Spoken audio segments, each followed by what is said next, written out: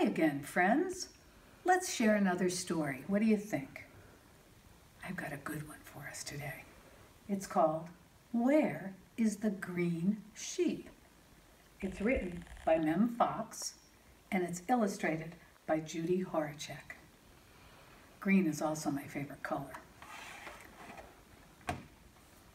Published by Houghton Mifflin Harcourt.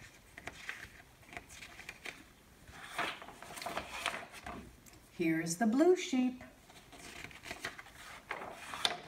And here's the red sheep. Here is the bath sheep. That looks like a fun bubble bath. And here is the bed sheep. That kind of looks like me. I love to read in bed. But where is the green sheep? Hmm, I don't know. Here is the thin sheep, and here is the wide sheep. Here is the swing sheep. And here is the slide sheep. But where, oh where, is the green sheep? Here is the up sheep, and here is the down sheep. Here is the band sheep. Oh, he's a one sheep band. And here's the clown sheep. But oh my goodness, where is the green sheep? Here is the sun sheep, and here is the rain sheep. Here is the car sheep, and here is the train sheep.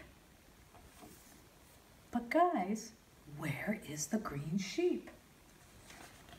I see a cat, I see a snail, I see a couple of bunnies, but no green sheep. Here is the wind sheep, and here is the wave sheep. These are very talented sheep, I think. Here is the near sheep, and way back here is the far sheep. Here is the moon sheep, and here is the star sheep. But you know what? We still haven't found the green sheep. But where is the green sheep? I don't see any green sheep. These, here's a yellow and a purple and a red sheep having cake. And there's some acrobatic sheep. And a sheep wearing a lot of fruit on her head. And some sheep playing in the sandbox and one riding a bike. But where is the green sheep? Here's our green sheep fast asleep. Oh my goodness, all that activity going on around her, and our green sheep stayed asleep. You must have really needed a nap.